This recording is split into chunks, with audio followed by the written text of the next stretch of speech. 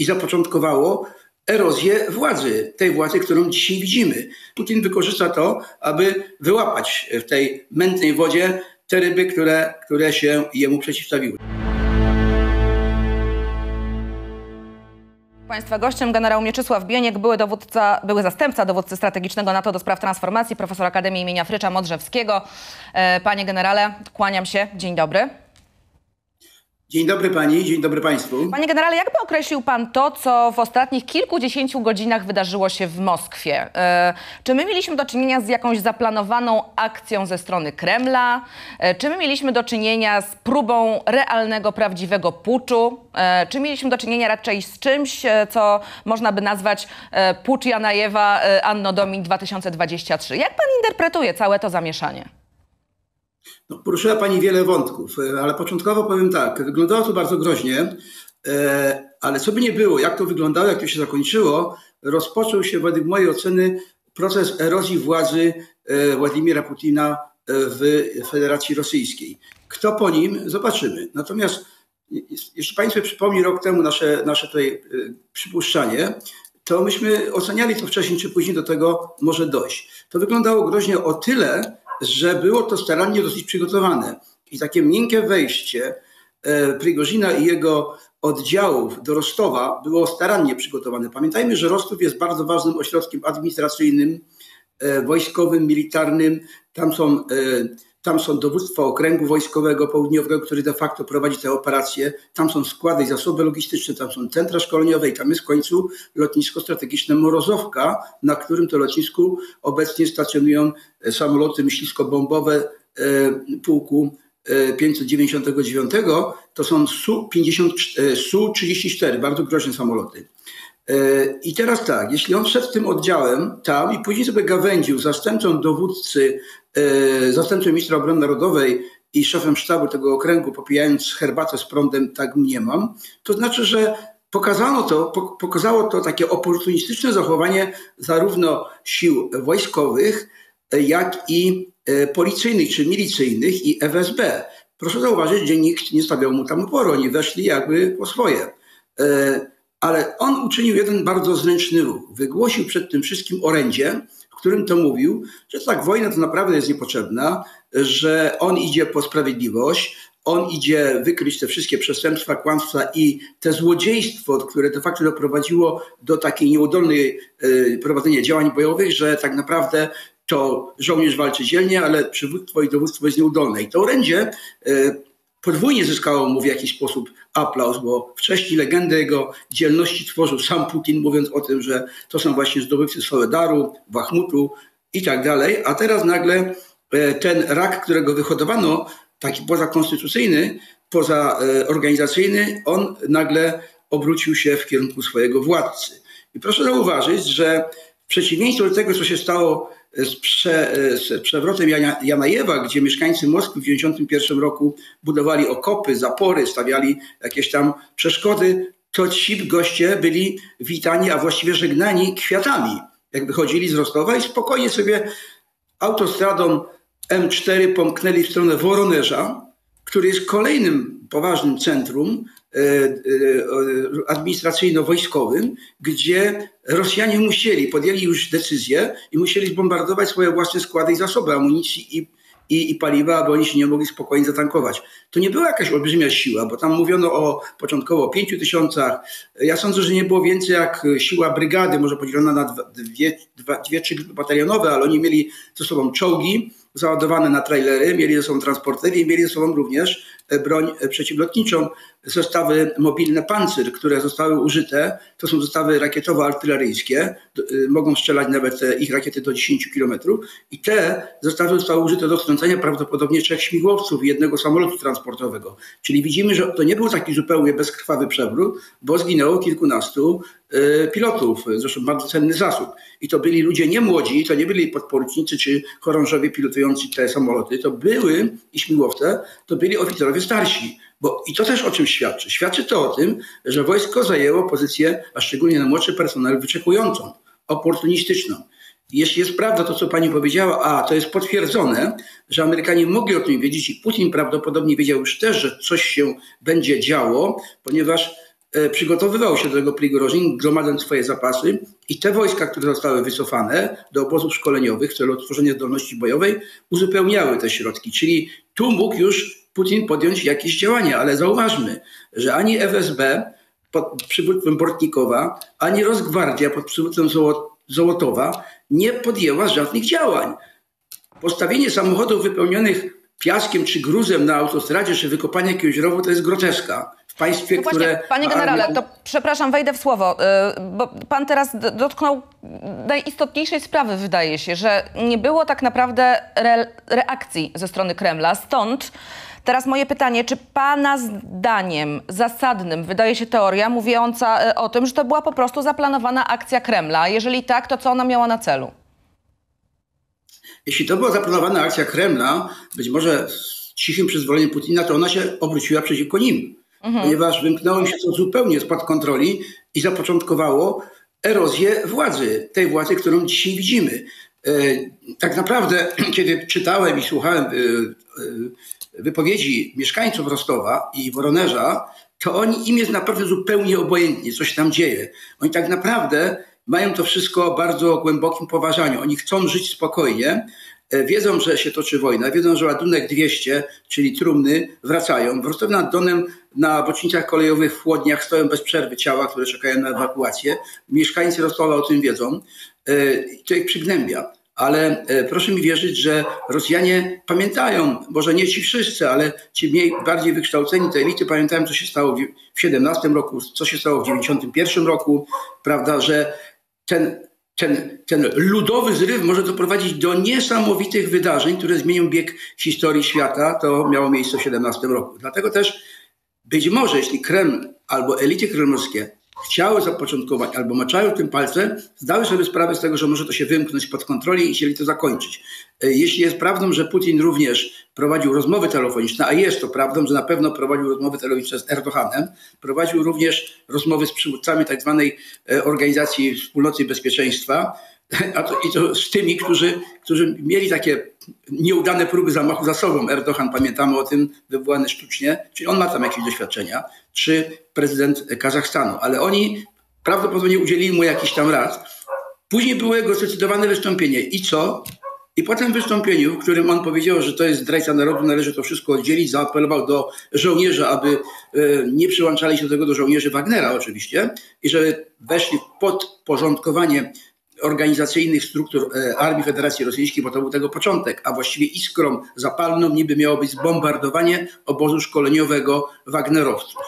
Więc to wszystko świadczy o tym, że nagle zdano sobie sprawę z tego, że e, może to się wymknąć pod kontrolę, może to się przekształcić w bardzo niebezpieczną sytuację, ale również i dla nas, dla państw ościennych, bo wyobraźmy sobie wybuch wojny domowej i dziesiątki różnych e, precedentów do władzy w Moskwie, mocarstwa atomowego.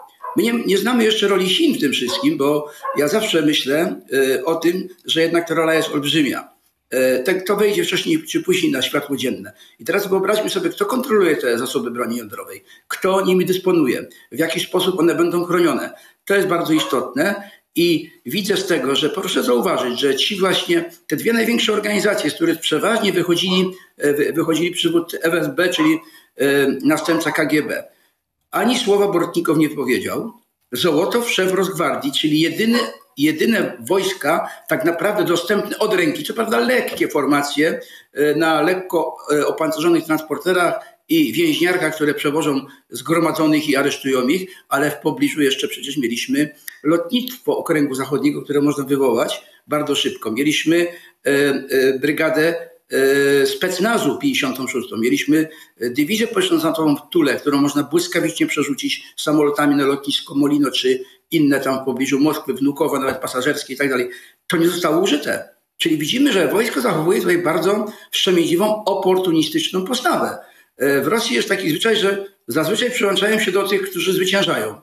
Ten chaos w Moskwie i w Rosji wykorzystał, wykorzystali bolszewicy, którzy byli bardzo zwartą grupą i mhm. dokonali przewrotu i, i, i, wojny domowej, która krwawo się zakończyła i, i pozwoliła na rozbudowanie Panie państwa. generale, czy ja mam, e, e, czy ja mam, e, czy ja mogę właściwie tak rozumieć pana słowa, czy to jest moja nadinterpretacja, że wojsko, ja nie wiem czy teraz, ale w jakiejś bliżej określonej przyszłości byłoby w stanie zbuntować się przeciwko Putinowi? Wie Pani, wojsko jest strukturą organizacyjną. Ono się poddaje przywództwu i dowodzeniu. Jeśli nie było rozkazu, że wychodzimy z okopów i idziemy bronić Moskwy, to nie było. Jeśli był rozkaz, tkwimy tutaj, dalej, ale po prostu to wojsko, które tam jest w okopach, które tam na froncie wschodnim, czy zachodnim, jak oni to mówią, oni w ogóle byli informowani o tym, co się dzieje. Tam część tych żołnierzy z poboru, którzy tam walczą, bo oni myślą, że walczą w wielkiej wojnie oczyźnianej, bo uważają cały ten region wciąż za terytorium Federacji Rosyjskiej. Tak, tylko ja pytam e, Tam o najbliższą było... przyszłość, panie generale. Jaka, jak ta sytuacja, z którą mieliśmy do czynienia w sobotę, może wpłynąć właśnie na relacje e, Kremla, a właściwie Putina, bo na Kremlu to te relacje są jeszcze bardziej skomplikowane. Putina z wojskiem właśnie. Mamy dzisiaj Szojgu, który został wysłany na Ukrainę, a to był jeden z ludzi, których dymisji domagał się Prigorzyn chociażby. Więc jak interpretować teraz to, co się wydarzy w najbliższych dniach? Wie pani, e, każdego, e, istota każdego systemu albo istota systemu odpornościowego państwa to jest przywództwo. I dzisiaj przywództwo Putina zostało zachwiane. Przywódca ten był w gotowości do ucieczki czy do zmiany miejsca dyslokacji, w przeciwieństwie do e, Żałęskiego, niby słabego przywódcy, który półtora roku temu został w Kijowie i pokazywał się na Kijowa bombardowanego wówczas.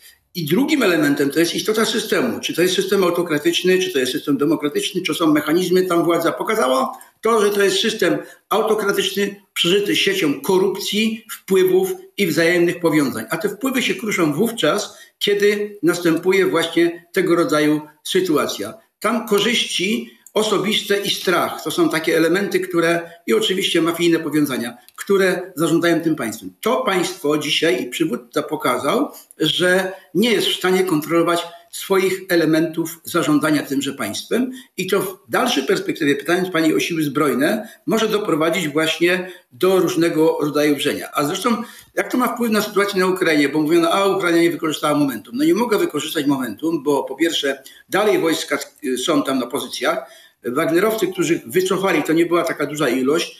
Dalej tam są ci, którzy byli rotowani, to, to są. Natomiast ma wpływ na morale żołnierzy rosyjskich, bo wcześniej czy później dojdzie do, do świadomości, że my o to walczymy, a tam jakieś buldogi żrą się, idą na nasze miasta, nie wiadomo co się będzie działo. Ta dezinformacja i wpływ na morale ma olbrzymie znaczenie. Natomiast Szojgu, Szojgu on nie po prostu nie, nie pokazał się, on uciekł. On był w Rostowie nad Donem, bo Rostów nad Donem jest E, stanowiskiem e, dowodzenia strategicznego tą operacją e, w dowództwie 58 Armii Ogólnowojskowej, prawda, w dowództwie Południowego Okręgu Wojskowego. On stamtąd się ewakuował, bo zażądał przecież Prigorożin, zabijaka, który był jeszcze półtora roku niczym więcej jak jakimś pseudobiznesmenem, który oczywiście miał jakieś osiągnięcia, nagle zażądał głowy dwóch najwyższych dowódców, czyli generała Szojgu i Gerasimowa, mówiąc o tym, że Szojgu to wszystko rozpętał, bo chciał być marszałkiem, a w ogóle to jest beznadziejny człowiek i, i, i doprowadza do klęsk. Panie generale, to teraz e, o samym Putinie dwa słowa, dlatego że e, no, według wielu analityków e, Putin no, z pewnością będzie teraz postrzegany jako bardzo mocno osłabiony przywódca. To są nasze poboczne, pobożne życzenia, czy rzeczywiście jest coś na rzeczy? Czy Putin nigdy nie był tak słaby, jak jest w tej chwili? I to nie dlatego, że my sobie analizujemy ostatnie miesiące wojny w Ukrainie, tylko właśnie z powodu tego, co wydarzyło się w sobotę na terenie Federacji Rosyjskiej. E, nie stawiałbym takiej poważnej tezy, że jest całkiem osłabiony. To jest chytry list, to jest cwaniak, który wywodzi się również z KGB. On też tą sytuację użyje na swoją korzyść. Oczywiście on będzie osłabiony. Pokaza, pokazano to, że nie ma wpływu takiego dynamicznego na struktury władzy. On dzisiaj wykorzysta tę sytuację, przypatrzy się bardzo uważnie tym ludziom, którzy w jaki sposób ktoś się zachowywał. Tak jak Hitler to zrobił po zamachu w Wilczym Szańcu, prawda? No może tam nie będzie wieszanie na strunach od fortepianu, ale pamiętajmy o tym, że Prigozin jeżdżąc po całej Federacji Rosyjskiej w ubiegłych tygodniach, kiedy on montował nowy skład sił swoich, jeżdżąc po więzieniach, po różnych ośrodkach, przez tych ośrodków na, na, na terenie całej Federacji Rosyjskiej, dużych miastach, miasteczkach, yy, i on tam sobie również zyskiwał zwolenników, również wśród oligarchów, którzy mają olbrzymi wpływ. Dzisiaj Putin wykorzysta to, aby wyłapać w tej mętnej wodzie te ryby, które, które się jemu przeciwstawiły. Czy mu się to uda, zobaczymy. Czy to jeszcze bardziej napędzi tą machinę niechęci do niego, również zobaczymy. Natomiast, co jest bardzo istotne, ta iluzoryczne poparcie dla Putina, wyrażające się chyba w 80% oficjalnie mówiących o tym, wcale nie jest takim poparciem. To pokazało właśnie żegnanie tych ludzi kwiatami Prigorzyna, tych zabijaków, prawda? E, otwieranie im e, bram miast, magazynów i składów bez wyszczału, to też pokazuje, że poparcie dla Putina jest marne. No i teraz e, pytanie o przyszłość Jewgenija Prigorzyna, panie generale. No bo wiemy, że mm, to napięcie na linii grupa Wagnera-Kreml, upraszczam rzecz jasna, um, trwa już od dłuższego czasu. To nie jest tak, że ono się narodziło w piątek i w sobotę postanowiono dokonać puczu, tylko e, Prigorzyn no już od dłuższego czasu e, krytykował tę rosyjską administrację wojskową. E, oczywiście wiemy, że podobno hipotetycznie. E, została zawarta jakaś umowa, zgodnie z którą e, Prigorzyn uda się na Białoruś i będzie zwolniony ze wszelkich konsekwencji karnych, no ale wiemy, że on w sobotę wieczorem odjechał ciemnym suwem, i tyle go widziano. I teraz pytanie, co z nim zrobi Putin? I czy Prigorzyn może być, pytanie pewnie retoryczne, ale zaryzykuję, spokojny o swoją przyszłość, czy wprost przeciwnie? I jaką rolę odgrywa tutaj Aleksandr Łukaszenka? W świecie mafijnym, jak pani wie, e, układy są zawierane bardzo krótkotrwałe i tak naprawdę one nie funkcjonują. E, niech będzie nawet przykład z Korei Północnej Kim Il-sena i jego, Kim, Kim Jong-una i jego najbliższej rodziny, gdzie tam przez jakieś ukucie ktoś tam zginął. Prigorzyn doskonale o tym wie. E, ponadto dla Łukaszenki byłoby ryzykowne również, jeśli on by pozwolił Prigozinowi i jego większej, e, zwartej jednostce wejść na Białoruś. Podejrzewam, że to dotyczy tylko Prigozina jakiejś wąskiej grupy jego, jego ochroniarzy, bo pamiętajmy, że wejście tam nawet takiego zwartego oddziału pięciotysięcznego groziłoby Łukaszence obalenie jego reżimu, a a być może uz, uz, uzgodnione to byłoby z Moskwą, że to obejmuje władza tam Prigorzyn. Ale chociaż to jest taki najbardziej czarny scenariusz, to nie wierzę. Natomiast on pewnie będzie szukał schronienia, a ma tych miejsc na świecie dużo. W majątku ma też wiele. Widzimy chociażby po tym, jak później już zadziałało FSB, gdzie przeszukiwało jego siedziby i odwiedzały domy i lokale jego popleczników w, całym, w całej Federacji Rosyjskiej. Czyli jakby teraz FSB z Bortnikowym się ogarnęło i chciało to nadrobić tą swoją wstrzemięźliwość, kiedy widział, że został deal zawarty, gdzie mu skonfiskowano pieniądze, e, narkotyki, jakieś inne cenne dary. To był olbrzymi cios, ale on z drugiej strony musiał utrzymać jakiś taki tu i teraz deal, który gwarantuje mu przynajmniej na ten krótki okres czasu bezpieczne schronienie gdziekolwiek i życie. No dobrze, Gdzie... panie generale, ale to proszę mi wytłumaczyć jedną rzecz, bo ja się na, na, tym nie znam, ale tak na logikę rzecz biorąc, dlaczego w tej chwili Putin miałby odpuścić Prigorzynowi? Dlaczego miałby gwarantować mu nawet na krótki czas spokój i bezpieczeństwo? Dlaczego nie pokazać właśnie siły, jeżeli o bezsilność jest oskarżany i po prostu Prigorzyna, przepraszam za sformułowanie, załatwić raz na zawsze? No więc e, tutaj jest to, o czym powiedziałem na początku, chytrość węża. E, uładzimy się najpierw ze swoją ofiarą, podejdziemy ją bardzo dobrze i w pewnym momencie zaatakujemy, a jednocześnie ma, mamy czas na uporządkowanie swoich spraw wewnątrz, prawda? Wyłapanie tych jego popleczników, zlikwidowanie tego, co mi groziło, kiedy on pokazywał swoją siłę. No dobrze, czyli rozumiem, że Prigorzyn spokojny może być e, tylko przez chwilę, a później i tak e, Putin od zemsty uciekać nie będzie. Tak, tak sądzę i tak chyba sądzi wielu analityków. Miałem okazję rozmawiać z, kilkoma moimi przyjaciółmi e, z, z Zachodu i oni właściwie potwierdzali to. E, również wyrażali obawy, żeby Prigorzyn nie wszedł na Białoruś z większą grupą swoich ludzi, bo może to doprowadzić tam do sytuacji bardzo groźnej.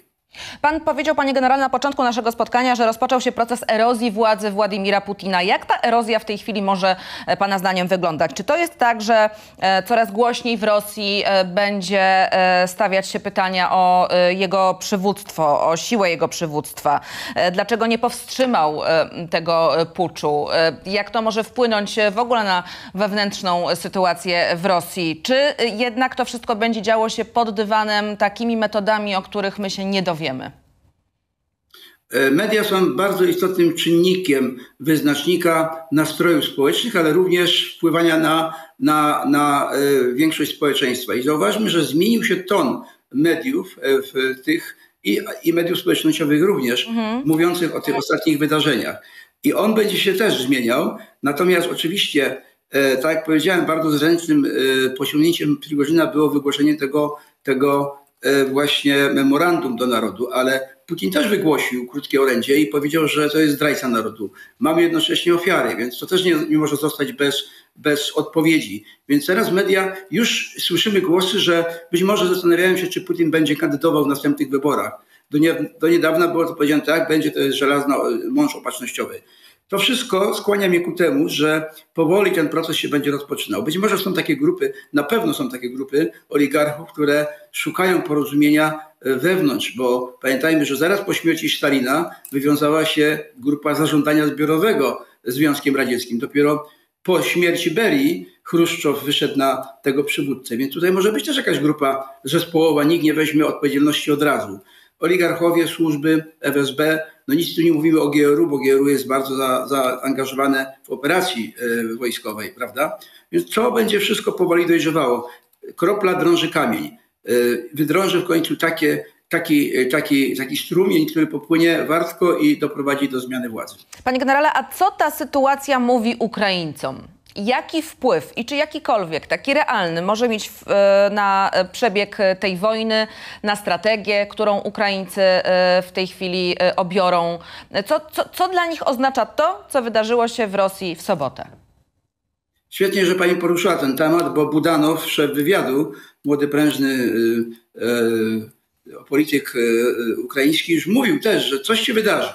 Czyli widzimy, że tutaj Ukraina bardzo uważnie śledzi. Zresztą wejście nawet takiej zwykłej kompanii tych e, niby e, Legionu Swoboda w, rejon białogrodzki spowodowało kompletny chaos w zarządzaniu systemami bezpieczeństwa Federacji Rosyjskiej. A tutaj siła niecałej brygady potrafiła prawie zdestabilizować sytuację polityczną całej Federacji Rosyjskiej. Więc mhm. Budanow widzi i będzie budował na tym również przesłanie. Żołęski musi to wykorzystać, że to oto widzimy jako, jaka jest istota tego systemu państwa zbójeckiego w jaki sposób działają struktury, jakie są powiązania mafijne, będzie to szeroko kolportowane, to z jednej strony wzbudzi po, jeszcze wzmoże morale Ukrainy, ale z drugiej strony może podkopać morale żołnierzy Federacji Rosyjskiej. Ale tu chyba nie, tylko nie chodzi o, tylko o morale.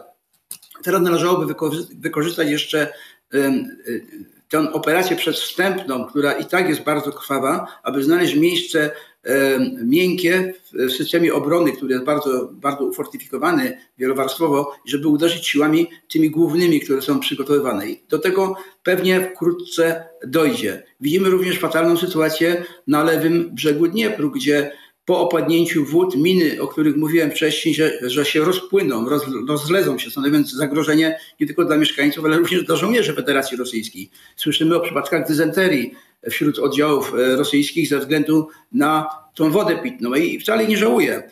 Tak a propos dysenteria już powaliła niejedną armię na, na, e, w czasie boju. Piąta Armia Pancerna Katukowa została powalona dysenterią, prawda? E, oddziały generała Montgomery'ego, kiedy lądowały na Sycylii, żołnierze jedli garściami świeże owoce i dostali, no właśnie tak, nie powiem popularnie, dezenterii. Po raz pierwszy Montgomery poprosił patrona, żeby mu ochronił jego lewą flankę. Takie historie się zdarzają. Być może ten prozaiczny przypadek dezenterii osłabi również zdolności bojowe e, żołnierzy Federacji Rosyjskiej na tym kierunku. E, I na koniec jeszcze, panie generale, chciałam zapytać o mm, obawy, które e, narastają w związku z sytuacją wokół zaporowskiej elektrowni jądrowej. Oczywiście Wcześniej już mówiło się o tym, że mm, Rosjanie być może będą chcieli wykorzystać e, zaporowską elektrownię jądrową w sposób, e, o którym nawet nie chcemy myśleć, ale w tej chwili znowu ukraińskie władze uważają, że Rosja może planować atak terrorystyczny na e, zaporowską elektrownię mm, jądrową właśnie. I minister spraw wewnętrznych powiedział, że już nawet powstał plan działania na wypadek ewentualnie toksycznego wycieku. No i teraz, czy pana zdaniem to może być jakaś taka odpowiedź Rosjan na E, to zamieszanie, z którym w tej chwili mamy do czynienia, żeby przekierować e, naszą uwagę na zagrożenie jądrowe? E, tak, od samego początku, kiedy się tylko coś nie, nie, nie wiedzie, straszną bronią jądrową. Te, te, te groźby były bardziej lub mniej wiarygodne, natomiast tą groźbę należy wziąć pod uwagę bardzo poważnie. Mimo, że to też może zagrozić samym Rosjanom, ale oni się z tym za bardzo nie liczą. Ponieważ pamiętajmy o tym, że również wybrzmiało w którejś wypowiedzi, że Rosja jest gotowa do zawarcia porozumienia pokojowego, ale na ich warunkach i na po spełnieniu tych wszystkich tak. celów, które osiągnęli. I tam jednym, jednym z celów to była demilitaryzacja. To znaczy oni uważają, że zdemilitaryzowali już Ukrainę, pozbawili ich możliwości produkcji, bo ich ośrodki przemysłowe zostały zburzone. Moim zdaniem dzisiaj jest Ukraina jednym z najbardziej zmilitaryzowanych krajów na świecie, no ale to poza, poza, poza dyskusją. I używanie argumentu, że oto wysadzimy albo wysadzą elektrownię jądrową w wyniku działań zbrojnych, jedna czy druga strona jest bardzo poważnym, bardzo poważnym zagrożeniem. A ten, mówię to w, tej, w tym aspekcie tego, tego niby porozumienia pokojowego, bo zawsze wtedy, kiedy chcia, chciano zawrzeć porozumienie pokojowe, ten straszak atomowy wchodził w grę. Przypomina mi się wojna Jom Kippur w roku 73, kiedy to Amerykanie zmusili do negocjacji Izrael, zmusili, bo istniała groźba tego, że wojska syryjskie wejdą nawet do Damaszku, ale powiedzieli, że mamy informację, że poruszają się statki handlowe z bombami atomowymi rosyjskie czy radzieckie, y, aby te bomby dostarczyć Syryjczykom, aby zbombardowali Izrael. To taka groźba była też. No i w wyniku tej groźby tam powiedzmy sobie zawarto to porozumienie pokojowe. Tutaj może być, nie jest taka, aż taka analogia, ale ta groźba wybuchu jądrowego w takim bardzo istotnym e, centrum przemysłowo-rolniczo-administracyjno-gospodarczym, która y, mogłaby zaistnieć, no to jest, y, to jest poważna sprawa. Z tym, że, z tym, że myślę, że Rosjanie też sobie zdają z tego sprawę, używając właśnie tego rodzaju y, argumentu. No tak, tym bardziej, że chaos jeszcze w tej sytuacji nie pomaga. Panie generale, bardzo dziękuję. Generał Mieczysław Bieniek, były zastępca dowódcy strategicznego NATO do spraw transformacji państwa gościem. Dużo zdrowia i do zobaczenia następnym razem, panie generale. Dziękuję, dziękuję, raz jeszcze. Również.